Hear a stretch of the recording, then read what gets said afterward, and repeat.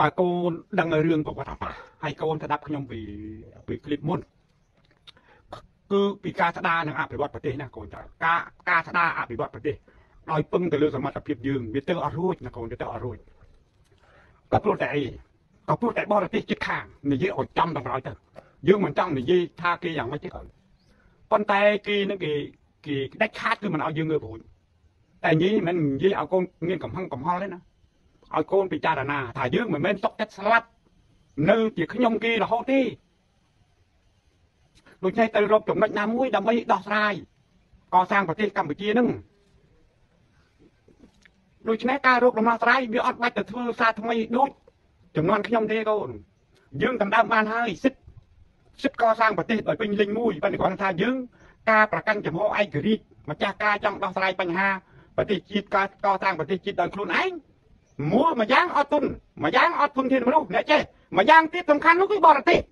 តែយើងចាប់ផ្ដើមកសាងប្រទេសឲ្យតែមានគោលការណ៍ជាក់លាក់ណាមួយវាមើលឃើញថាកតាំងប្រទេសរបៀបនេះច្បាស់ជាបកកែចោះជាយើងនឹងវាមានរឿងព្រាមវាមានរឿងព្រាមណាកូនវាមានរឿងព្រាមដូច្នេះអារឿងអស់នេះគាត់ថាយើងនេះមានយីខ្លាចប៉ះពាល់តែការពិតនេះយើងខ្លាចទៅជាចំណាប់ខ្មាំងរបស់បរទេសមកយោមកឲ្យកូនមកយោមកហើយអូយបរទេសវាអត់ដែរលេងទេ នៅពេលដែលយើងគិតកសាងប្រទេសកម្ពុជាមួយតំណងថាបានទីបានចប់ព្រឹត្តិការណ៍ផ្ទៃក្នុងព្រឹត្តិការណ៍ខាងក្រៅចាប់ដើមមកជាមួយគ្នាហើយវិធីមួយដែលកូនត្រូវចងចាំណាកូនត្រូវចងចាំគ្រប់គ្នាគឺវិធីជំរុញឲ្យពលរដ្ឋខ្មែរកើតអំពើហិង្សានេះជាវិធីល្បិចរបស់សត្រូវតាំងពីបុរាណរៀងមកនៅពេលស្ថានភាពមិនស្រួលនៅពេលវាឃើញប្រទេសកម្ពុជាអាចនឹងងើបរួចពីពីពីពីក្រញាំរបស់គេណាសំខាន់គឺមានការជំរុញឲ្យ មានអំពើហិង្សាទោះចេតនាក្តីឬមិនចេតនាក្តីទោះអ្នកនៅក្នុងអំណាចក្តីអ្នកមិននៅក្នុងអំណាចក្តីតាចាប់ផ្ដើមបង្កអំពើហិង្សាគឺធ្លាក់ចូលក្នុងល្បិចរបស់សត្រូវឈ្លានពានជាក់ជាបន្ថែមយើងនៅក្នុងនិយាយរួមនៅក្នុងដូចថានៅក្នុងអង្គរុត នៅក្នុងអង្គរុតរបស់បរទេសឈ្លានពានដែលវាក្រុងទាំងនយោបាយទាំងសេដ្ឋកិច្ចទាំងយុធាវាក្រុងជាប់យើងគិតប្រឡោះឲ្យវាដឹងដែរដូច្នេះគន្លឹះដែលដោះស្រាយណាកូនគឺច្បាប់23ដុល្លារមានតែមួយហ្នឹងទេវាអត់មានរឿងអីទៅណាមួយគ្រួចពីនឹងរឿងរឿងរឿង23ដុល្លារទេខ្ញុំសូមអះអាងប្រាប់កូនចៅថា ការផ្ដើមកសាងប្រទេសពីកសិកម្ម ដែលសហការគ្នាជាមួយកងផលិតធំលោកឈឹងយើងគួយប្រទេសចិនខ្ញុំនិយាយខ្ញុំអត់ចង់និយាយទេរឿងអស់នេះកុំឲ្យថាខ្ញុំនឹងវាចេះដឹងអីនៅក្នុងមុនតែបើនិយាយមិននិយាយកូនអត់ដឹងការសហការគ្នាជាមួយចិនខាងសេដ្ឋកិច្ចការនោះណាកូនយើងអត់មានគ្រោងការទៅទៀមទាទៅធ្វើវិធានតាវិចិត្រកម្មអីប្រទេសជិតខាងឡើយទេយើងដឹងខ្លួនយើងថាខ្លួនយើងវាពងតែក្រ វាខ្វះសពខ្វះគ្រប់ការធំបំផុតត្រូវដោះស្រាយបញ្ហាសេដ្ឋកិច្ចជាមូលដ្ឋានសិនតែយើងនេះណាបកកែទៅខាងក្នុងចម្បាំងដូច្នេះ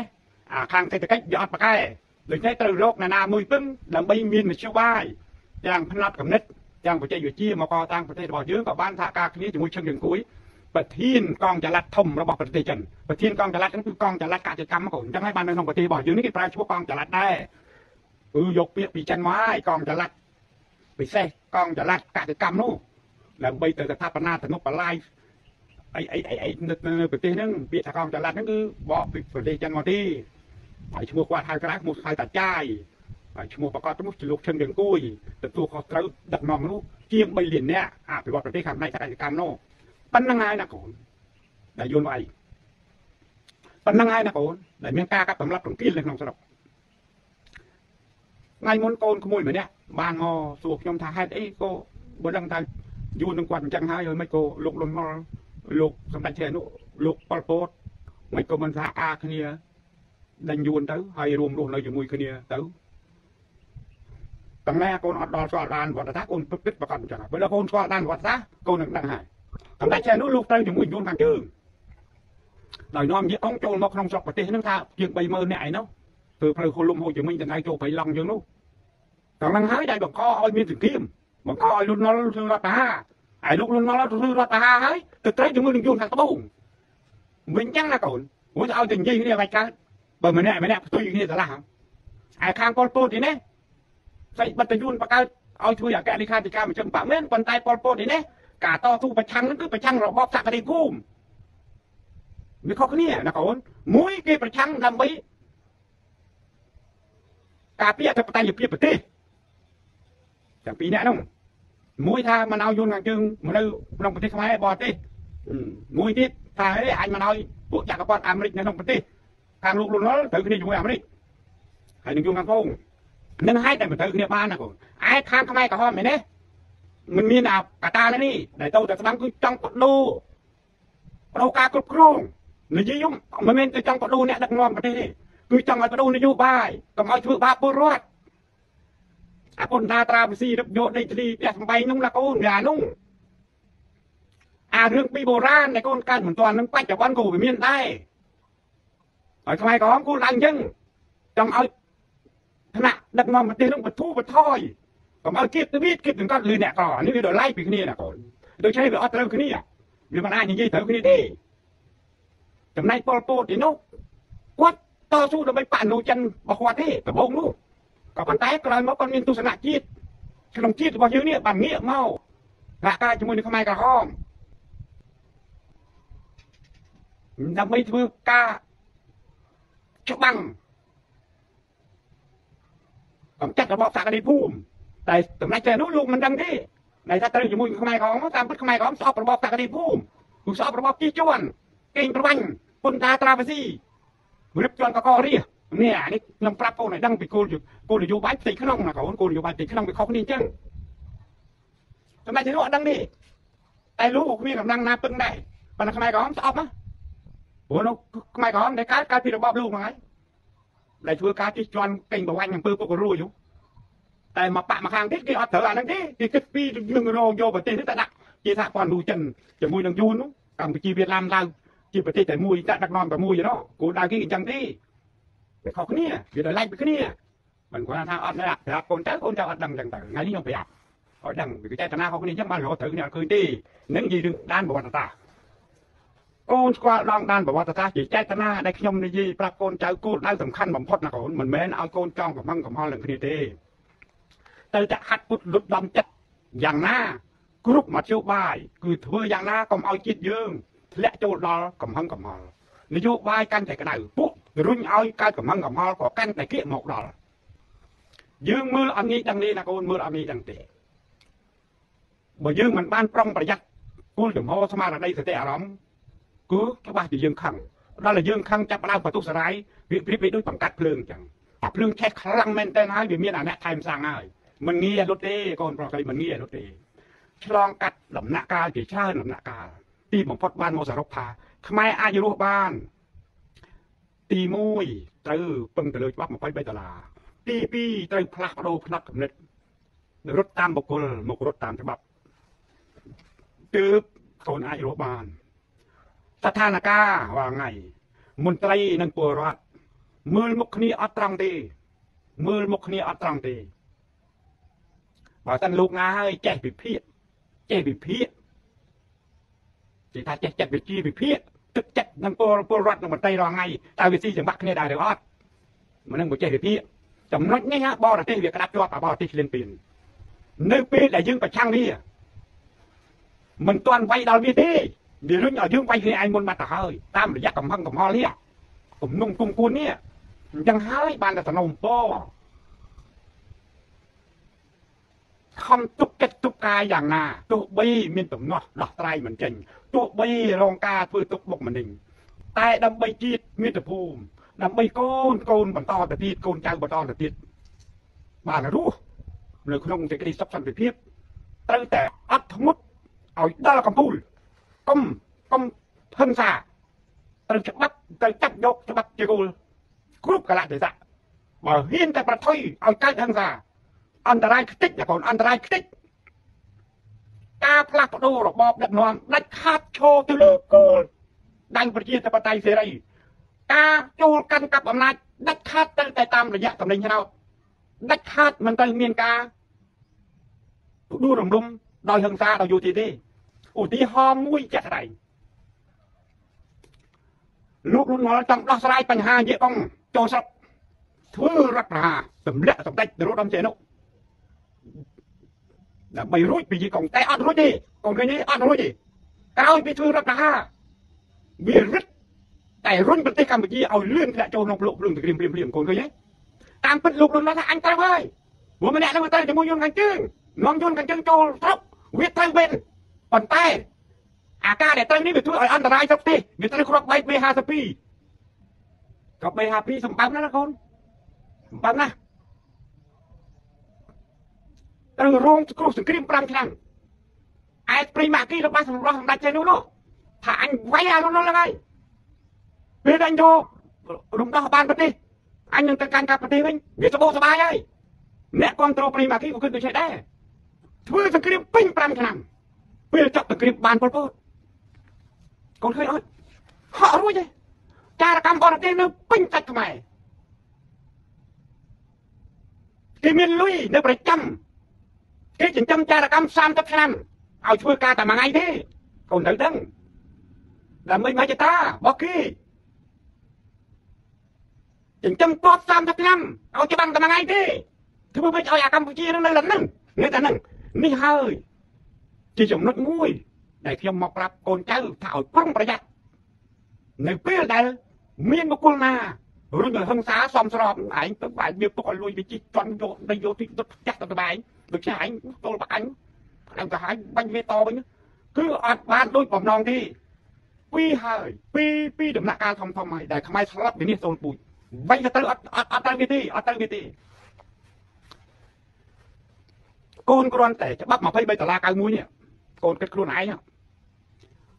ផលប្រយោជន៍គ្រប់យ៉ាងមកដល់លើមកដល់ជាតិខ្មែរហើយតែនៅតែមានគេមិនសំស្របគេប្រឆាំងទៅទៀត ចុះតម្រាំតែកើតហិង្សានរណាទៅគ្រប់គ្រងបានការកម្មគេមកឆ្លៀនពីនយើងបរទេសគេមកឆ្លៀនពីនយើងសិតតាឪបណ្ឌិតបណ្ឌិតរបស់គេគឺពិតလားកូនបណ្ឌិតរបស់គេណាមិនបណ្ឌិតអត់ពិតទេគេស្គាល់ល្បិចកិច្ចការរបស់ខ្មែរទាំងអស់ហ្នឹងគេរៀបតាមដានអត់ឲ្យខ្មែរងើបរួចទេវាយគេអត់ទៅទេរបបសាធារណរដ្ឋវាយយូនតាមដងទលេពិសេសកំពង់ឆ្នាំងកន្លែងតំបន់នំនៅអាយួនរាប់លេងកំពង់មួយខ្ញុំហើយលេងអស់ហើយ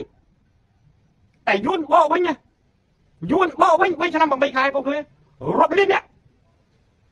កំចាត់យួនបានប្រហែលម៉ឺនក្នុងស្រុកខ្មែរយួនសាក្រុមកាលចំនួនជុំវាស្មើបើតាមភ្នែកខ្ញុំឃើញនឹងដៃដល់មកតំបន់គាត់នឹងប្រហែលជា500គ្រួសារទៅចុះ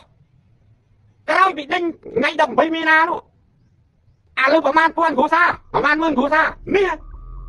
ពេលសង្គ្រាមម្ដងម្ដងក្រោយពីស្លាប់ យួនមកកាន់តែច្រើនកំពុងលួងតិចណាមានតាមទូក10 20គ្រួសារហ្នឹងច្រើនហើយពងលួងជាប់ទលេសាបកូនចៅឥឡូវទៅមើលមានតាំងស្ថាគារក្នុងទឹកនេះរាប់លានរាប់សែនប្រវត្តិសាស្ត្ររួមជាមួយសពថ្ងៃវាឃើញច្បាស់អញ្ចឹងបើថាអ្វីក៏ដោយអានាំទៅហឹង្សា វាពិតជាលលាខ្មែរលលាខ្មែរកូនតែហឹង្សាហើយអន្តរជាតិលែងមករវល់ជាមួយហើយខ្ញុំប្រាប់កូនចៅច្បាស់ទៅអាដំណោះស្រាយនយោបាយឲ្យទុកសិនបែរហ្នឹងទៅអត់ងាយមកទេអត់ងាយទេកូនប្រុសស្រីអើយដូច្នេះបុគ្គលនយោបាយណាមួយដែលនាំឲ្យហឹង្សាត្រូវហើយកូនចៅខឹងណាខឹងណាអញធ្វើបាបតែត្រូវទុកចិត្តឲ្យបានដើម្បីជាតិទុកចិត្ត ទុកកម្រិតឲ្យបាន ការប្រឹងប្រែងកសាងអភិវឌ្ឍប្រទេសវាជាក្តីត្រូវការចាំបាច់ខ្លាំងណាស់ទាំងខ្ញុំទាំងកូនគ្រប់គ្នាទាំងអស់ដែលកំពុងតែរងវិបត្តិសេដ្ឋកិច្ចគ្រួសារដែលកំពុងតែរងវិបត្តិពាក់បំណុលធនាគារឬល្បីពេញភូមិពេញស្រុកអស់ហើយឥឡូវមួយណាក៏ជាពាក់គេដែរម្សិលមិញស្គមរីងរីអស់ហើយដើរមកជួបខ្ញុំនៅតែស្បែក10យ៉ាងជាពាក់គេជាពាក់គេនឹងដោយសារអីមិនមែនយកលុយនឹងមកស៊ីទេ យកលុយទៅចូលហ៊ុនជាមួយអាប៉ៃគេនោះដាក់ទៅបានការច្រើននោះអាលីងខ្លាយខ្លួនទៅជាអ្នកជាពាក់បំណុលគេគ្មានវិធីដោះស្រាយទេពិបាកចិត្តគោមនៅតែស្វែងរកតាំងវិបត្តិធ្ងន់ធ្ងរណាស់ខាងផ្នែកផ្លូវចិត្តពលរដ្ឋយើងពីច្រើនមានវិបត្តិផ្លូវចិត្តធ្ងន់ធ្ងរណាស់ដែលវាត្រូវការពេលវេលាយូរអង្វែងវាត្រូវមានស្ថិរភាពនយោបាយមួយជាក់លាក់ណាទើបអាចដោះស្រាយបញ្ហានេះបានដូច្នេះវាងាយណាស់ធ្លាក់ចូលក្នុងអន្ទាក់ដែលគេរុញឲ្យហឹងតានោះណាកូន ខ្ញុំមើលឃើញកន្លែងកន្លែងទៀតគ្រោះអាសន្នក៏ព្រោះតែខ្លួនឯងបានឆ្លងកាត់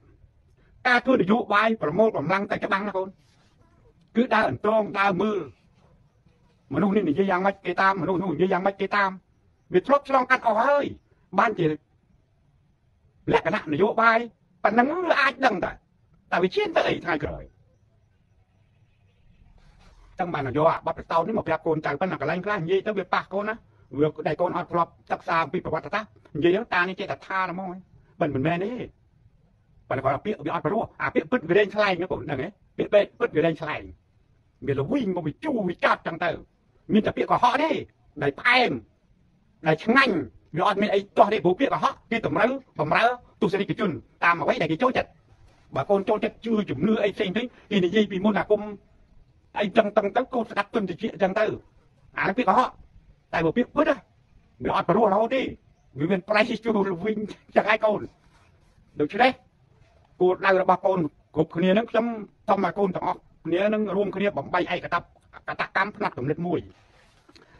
គឺរួមគ្នាបង្កើតកម្ពុជាឲ្យទៅជារដ្ឋមួយដ៏ឯកភាពហើយការឯកភាពមិនមែនការឯកភាពតាមបុគ្គលទេណាកូនគឺឯកភាពតាមច្បាប់បើកូនធ្វើឲ្យពលរដ្ឋយើងឯកភាពជាមួយនឹងច្បាប់ហើយណា កម្ពុជានឹងចម្រើនរុងរឿងក្នុងសម័យកូននឹងហើយឆ្នាំ2027ឆ្នាំ2028ជាឆ្នាំមួយដែលផ្លូវបត់190ដឺក្រេដូច្នេះកូនត្រូវតែផឹងប្រែងផឹងប្រែងទាំងអស់គ្នា រួមគ្នាយកច្បាប់ពីគូលកាលណាយកច្បាប់ពីគូលហើយកើតឯកភាពហើយកូនឯកភាពទៀតព្រោះច្បាប់អត់ទេក្បត់ច្បាប់អត់ទេកុហកអត់ទេខ្លួនអត់ចេះឈឺដូចខ្ញុំទេខ្ញុំចេះឈឺទេកូនថ្ងៃខ្លះនិយាយរួចទេតែច្បាប់អត់ទេកុហកអត់ទេឈឺទេដូច្នេះកូនតាមច្បាប់ ជឿបានទៀតដល់ហើយដូចជាការកស្ដារការស្ដារសេដ្ឋកិច្ចកម្ពុជាឡើងវិញបើចោលច្បាប់23ឡាយយល់ទេយើងទៅសង្គមចិនព្រោះចិនគាត់ជាអ្នករ៉ាប់រងជួយជាតិយើងវាយូរហើយប៉ុន្តែជួយក្នុងន័យមកគាត់និយាយថាជាមហាមិត្តសម្ដេចរដ្ឋចេះលោកលោកហៅថាជាមហាមិត្តមហាមិត្តចិនឈាមកូនអើយងត់អានេះធ្លុះជើងមកមហាមិត្តចិនជួយតាមរយៈមហាមិត្តហើយមកចូលទៅមកលោកធ្វើវាំងឲ្យសម្ដេចមួយនៅនឹង ពេកាំងឯលោកគឹមជិលអង្គគឹមគឹមអ៊ីលសុងលោកធ្វើរាជដំណាក់ឲ្យមួយនៅភ្យងយ៉ាងគេហៅថាឆាំសុអ៊ុនឆាំសុអ៊ុនខ្ញុំហៅតាមគេឆាំសុអ៊ុនមានមានលោកបងម្នាក់ដែលធ្លាប់នៅជាមួយខ្ញុំនោះគាត់ទៅនៅជាមួយសម្ដេចបំរើសម្ដេចនៅឆាំសុអ៊ុននោះឯងមកលោកបងគ្រិនដូចចេះរឿងរ៉ាវទាំងអស់ដែលខ្ញុំទម្លាយចេះតែប្រាប់កូនចៅពីរឿងប្រវត្តិពីបុរាណបុរាណមកខ្ញុំចេះទម្លាយប្រាប់កូនហើយខ្ញុំមិនຕົកទេប្រវត្តិទាំងអស់នោះទោះបីថារងការគំរាមកំហែងដល់អាយុជីវិត ជាញឹកញយតែខ្ញុំនៅតែបរិយាយប្រាប់កូនប្រាប់ស្រីប្រាប់គ្នា ដើម្បីខំធ្វើយ៉ាងណាកិច្ចពីដានប្រវត្តិសាស្ត្រ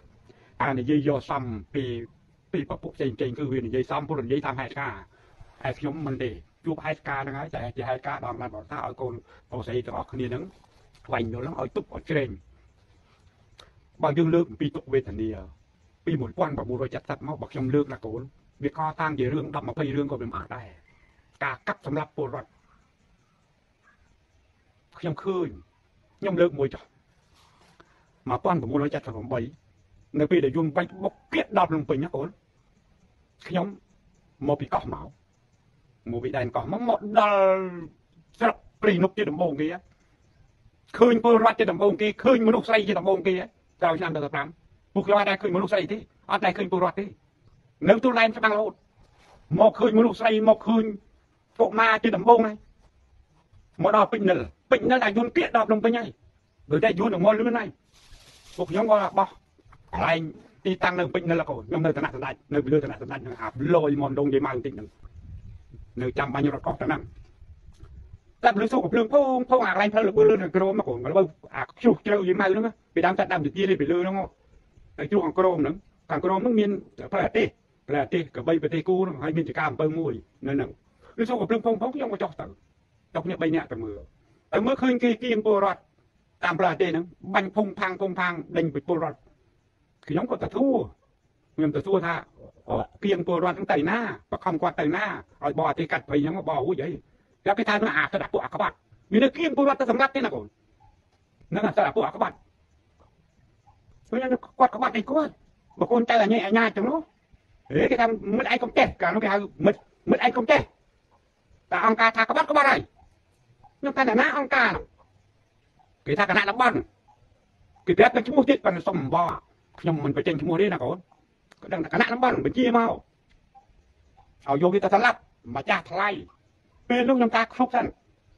ដោះស្រាយគ្នាសិនឥឡូវឲ្យខ្ញុំទៅជួបមេលោកឯងគណៈតំបន់នោះសិនល្បិចបានចោតពលរដ្ឋថាជាក្បត់កូនអញ្ញាអញ្ញាហ្នឹងក៏ក្បត់ទៅណាគាត់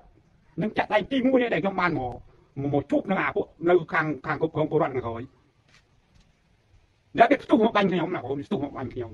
អាមេគេនោះអាមេគេនោះអត់មានសាក់អីពាក់ដូចឥឡូវនេះប៉ុន្តែមានប៊ិចកោប៊ិចពេញកប៉ៅវាមានខ្ញុំវាក៏ហោមិនចឹងទៅមានលកាអញ្ចឹងមេគេនោះដល់ផ្ទុះមកចន់តែលើកកភ្លើងក្មេងៗដែលនៅការពារខ្ញុំបាញ់ស្លាប់ទៅ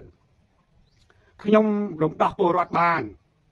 ប្រហែលជា50ទៅ60នាក់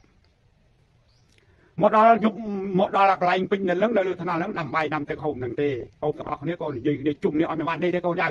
គាត់សួរគាត់ថាកូនកូនមកពីណាវាមិនដែលឃើញហើយពួកខ្ញុំនៅទីកោះហ្នឹងបងនៅកោះមានតែមកខាងក្រួយណាតែឃើញមើលស្អីផងហ្នឹងគាត់សួរគាត់យើងសួរទៅយើងដឹងថាវាវេទនាខ្លាំងណាស់អាអ្នកខាងក្រួយតម្លាប់ពលរដ្ឋត្មងទៅតម្លាប់ដើម្បីបំផ្លាញនយោបាយកុំឲ្យវាធ្វើអីរួចតែខ្ញុំស្ដោកស្ដាយណាកម្លាំងដែលកសាងផ្លូវលបឿនលឿននោះអាផ្លូវលបឿនលឿនហ្នឹងហ្នឹងវាមិនមែនរឿងថ្មីទេ វាតាំងពីជំនាន់នោះណាបងបើគាត់អត់ដឹងថារឿងថ្មីតាមពិតវាតាំងពីជំនាន់នោះប៉ុន្តែអស់ទៅខ្ញុំមកបានជួបទីប៉ុន្តែផ្លូវលបឿនលឿនខ្ញុំបានដើរមើលតាមផ្លូវគេតាសេហ្នឹងគឺគេធ្វើតាមផ្លូវតដែលរបស់គេពីថ្ងៃនោះមកទេបើកូនកើតសង្គ្រោះអត់ដឹងអានេះចឹងទៅធ្វើឥឡូវតាមពិតតាំងសម័យនោះនោះប៉ុន្តែខ្ញុំបានយល់នេះវៃធ្វើអត់បានហើយវារីអកិសនីទាំងច្រើនធ្វើរួចហើយប៉ុន្តែមិនបោះចិនទេធ្វើនឹងរបស់អដេញយូហ្គោស្លាវីគេធ្វើឆេកូមិនយូហ្គោស្លាវីឆេកូស្លូវ៉ាគីណាកូនឆេកូនឹងក៏ធ្វើឲ្យប៉ុន្តែមិនបានទេតែ មកមិត្តយួនគាត់លើកដាក់ឡានគាត់អស់អាលីនៅសតតែដីទេគាត់យកទៅអស់ហើយជ័យភ័ណ្ឌរបស់គាត់អានេះរឿងហ្នឹងពលរដ្ឋក្នុងគឺគេតាមកាប់តឡាប់មិននឹងយកគាត់ទៅណាគាត់និយាយប្រាប់អស់ហើយគាត់ថាខ្ញុំស្លាប់រស់នៅមួយកូនថ្ងៃងុយមកចាស់ថ្លៃយកទៅណាបើខ្ញុំមកច្បាំងយកទៅណានៅតាំងកូនទុយកូនតាយកូនចឹងអូយយកអត់មានកមានចប្រិយទៀតបានគេទៅសុំក អ្នកមូលដ្ឋានគេនៅតែងតែយើងបងតែងតែយើងផ្លូវការីនោះអាផ្លូវបាច់ការីនោះកន្លែងនោះគេធ្វើផ្ទះកន្រូដូចដូចដូចដូចដូចគ្នាទុកចែកពលរដ្ឋមិនបានមានមនុស្សនៅនេះផ្ទះដូចដូចគ្នាបដោយផ្លូវទៅការីនោះនឹងធ្វើបដោយនឹងដងដង្ហែគ្នាទៅហើយខាងមុខផ្លូវសិតតការដលងមីជំនាន់នោះទៅដល់នោះវាមានទាំងរុកស្រូវគេបើរុកស្រូវពីឆ្ងាយពីភូមិនឹងទេអ្នកយាមទៅគេនោះគេដឹងគ្នាគេគាត់ថាខ្ញុំទៅដល់ លោកមិត្តខ្ញុំសូមស្នើហើយបង្កខ្លះយកឲ្យពលរដ្ឋហូបជាថាគ្មានកសម្រាប់ពួកអាក្បាត់ពីនេះវាថ្នាក់ហ្នឹងណាកូនវាអត់ខ្លាចទេពួកអាញាធមមូលដ្ឋានណាវាអត់មានអញើតមួយកងទ័ពទេវាមានអាវុធវាមានមធ្យោបាយគ្រប់គ្រាន់វាដាក់ធ្វើបាបពលរដ្ឋហ្នឹងណាបើពលរដ្ឋដឹងតែយីអាខ្មែរក្រហមមិនពេញចឹងតាមពិតគឺវារបៀបហ្នឹងហើយអារៈគ្រប់គ្រងតាមមូលដ្ឋាននេះមិនមែនជាពួកខ្ញុំទេ អញ្ចឹងបានកូនស្ដាប់រឿងខ្ញុំនិយាយលើកមុនប្រកាសជាដឹងហើយតែណាអ្នករៀបចំរដ្ឋបាលស៊ីវិលយោធានៅក្នុងស្រុកខ្មែរគឺយកកង់ហើយយកកង់វាមកតាមណាបានវាមកតាមរយៈប្រៃម៉ាគីអាប្រៃម៉ាគីនឹងនាំយន្តដុំមកបដ ாய் ណាកូនអូយហ្នឹងគឺអាញាធរហ្នឹងកូនឯងមើលវាដេកយូររឿងតោតោខ្ញុំនាំពលរដ្ឋដែលខ្លាំងខ្លាំងតែទៅសុំកគេខ្លាំងខ្លាំងមិនខ្លាំងទៅវាយគេទេខ្លាំងខាងទូលត្រូវទូងកដើម្បីធ្វើដំណើរទៅស្រុកកណ្ដាលព្រោះស្រុកកណ្ដាលមិនមែននឹងនេះអាខ្លះគេយកពីកំពង់ថ្លាខ្លះមកពីណាពីណីមក ដើម្បីបានធ្វើដំណើរតើមានកវាបាញ់ទៀតកូនឯងមើលប៉ុន្តែវាអត់លះជាងយុទ្ធមិត្តដែលនៅមួយខ្ញុំទេខ្ញុំអត់កាន់អាវុធទេណាកូនអត់កាន់អាវុធទេដៃតទីទេតែយុទ្ធមិត្តដែលនៅជាមួយខ្ញុំមកដែលហ្វឹកហាត់ក្នុងសមរភូមិរត់សឹកសមរភូមិល្មមល្មមទៅមិនរួចទេគេអត់ចូលចិត្តខ្ញុំទេគេនៅឆ្ងាយហៅសម្លាច់ពីខ្ញុំនោះប៉ុន្តែភ្នែកគេសម្លឹង ទៅលើបកគលណាដែលនិយាយមួយខ្ញុំរហូតហ្នឹងតែមិនស្រួលពីមកហើយបាញ់ពី50 60ម៉ែត្រមកនោះថ្ងៃនោះគាត់ហត់ស្ទុះស្ទុះគេឆក់កំភ្លើងការ៉ាប៊ីនដែលគាត់ដាក់នៅខ្នើយក្បាលតនីគាត់ក្បាលរឹងគាត់មកលើកបានខ្ញុំដោយសារតែខ្ញុំនឹងនាំពលរដ្ឋទៅសុំអង្គព្រោះគាត់ថាគាត់គ្មានអង្គឲ្យពួកអាក្បត់ទីហូបទីអង្គការរបស់គាត់គឺមិនឲ្យពលរដ្ឋទាំងហូបទីទៅយកពលរដ្ឋទាំងទៅសម្លាប់ចោលគាត់ឯងមើលអញ្ចឹងបានគាត់ ឃើញខ្ញុំអត់អាវុធអីនៅនិយាយអោបដៃហ្នឹងគាត់ប្រងមកបាញ់ខ្ញុំនោះតាមពិតយុទ្ធមិត្តខ្ញុំនៅ50 60ម៉ែត្រពីខ្ញុំមកបាញ់ស្លាប់ទៅពលរដ្ឋនោះចង់ជឿថាស្លាប់អត់អស់ទេ50 60នាក់នឹងមានទាំងក្មេងមានទាំងមនុស្សចាស់តាចាស់ស្លាប់ក៏នៅក្មេងដែរបើមិនជាលោកនៅរស់រៀនមានជីវិតលោកបើមិនស្គាល់ឈ្មោះខ្ញុំក៏នឹកដល់ពេលគ្រាដែលគ្រានោះដែរដែលពេលដែលខ្ញុំរំដោះ រួចពីសេចក្តីស្លាប់ប៉ុន្តែលោកមិនដឹងនៅទីណាទេប៉ុន្តែឆ្នាំ1999 98 99មានម្នាក់រកខ្ញុំដល់ផ្ទះបើរកខ្ញុំអត់ជួបមកជួបប្រពន្ធខ្ញុំក៏បាត់ជើងថ្វាយអង្គមប្រពន្ធខ្ញុំបើប្រពន្ធខ្ញុំក៏អត់ដឹងរឿងកាលនោះខ្ញុំមានតែមានប្រពន្ធទេណាមកថ្វាយអង្គមថាដឹងច្បាស់ថាខ្ញុំហើយថាថាយាយរបស់ខ្ញុំហើយហ្នឹងជាប្រពន្ធរបស់ខ្ញុំគាត់មកថ្វាយអង្គមខ្ញុំដល់ផ្ទះហ្នឹងបរោខ្ញុំមិនឃើញថ្វាយអង្គមទាំងប្រពន្ធខ្ញុំក៏លាបាត់ទៅ ដែលបានជួយជីវិតរបស់គាត់កូនហើយកូនរឿងរ៉ាវពិតប្រកប